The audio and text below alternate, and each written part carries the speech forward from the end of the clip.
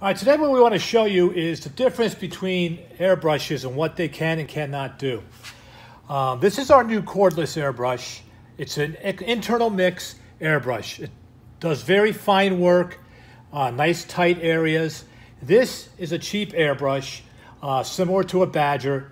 It's an external mix.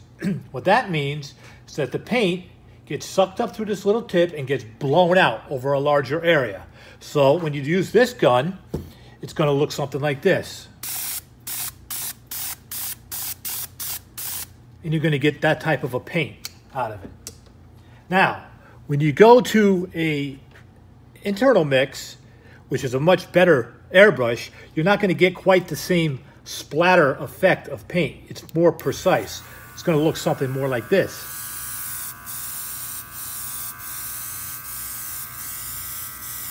More controlled. It's not just blasting paint everywhere. So the benefit is that the internal mix is for doing small blends, light areas, like for instance, like this headrest, okay, a, uh, a steering wheel, a bolster on a seat. If you want to paint a large area, or you want to blast the paint over a large area, then you're probably going to need something more like this. The problem with this is you have cords, either canned air or a compressor. It's not as portable as this. So you're going to get more of a, a wider spray pattern. Okay, you can cover a larger area. That's the main difference of the two types of airbrushes that we have.